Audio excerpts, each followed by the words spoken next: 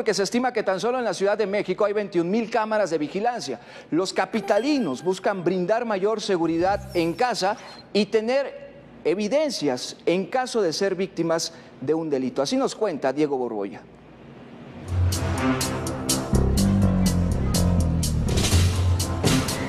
Entre 1947 y 1948, el escritor y periodista británico George Orwell adelantaba lo que pasaría en 30 años más adelante a su época.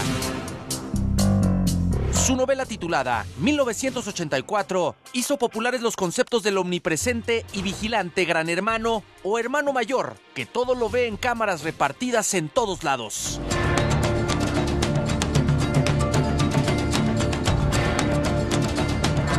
Sonaba a ficción hace 70 años, cuando esa novela se publicó.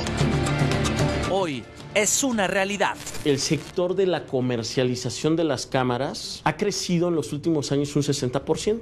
Esto se debe, primero me gustaría acotarlo de dos maneras, a la falta de percepción que tenemos todos nosotros de inseguridad que hoy prevalece en nuestro país. Vivimos bajo la mirada de ojos electrónicos todo el tiempo, en todo lugar, las 24 horas del día. Hoy en el boom de la videovigilancia en México hay 36.194 cámaras de videovigilancia a nivel nacional, 21.000 de ellas tan solo en la Ciudad de México.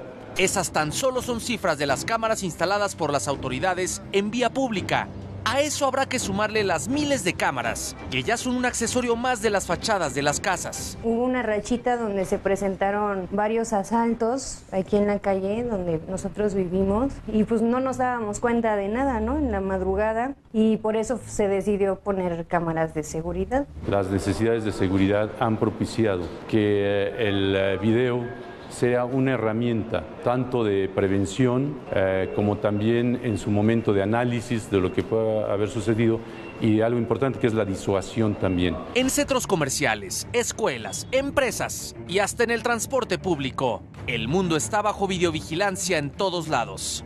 Lo bueno y lo malo se está acumulando en una inmensa cantidad de video de alto valor. Garantizar que los tiempos de que se videograban no se borren de una manera inmediata, no se borren en un corto tiempo. Se garantice esa permanencia de lo que se grabó, porque no sabes en cuánto tiempo lo, ya lo pudiste utilizar y un juez te lo puede volver a, a pedir como, como un dato de prueba. En los 40, Orwell predijo el futuro de la sociedad contemporánea. Bajo la mira electrónica, hoy todo se registra. Con imágenes de Héctor Galván y Carlos Guevara, Diego Borbolla, Azteca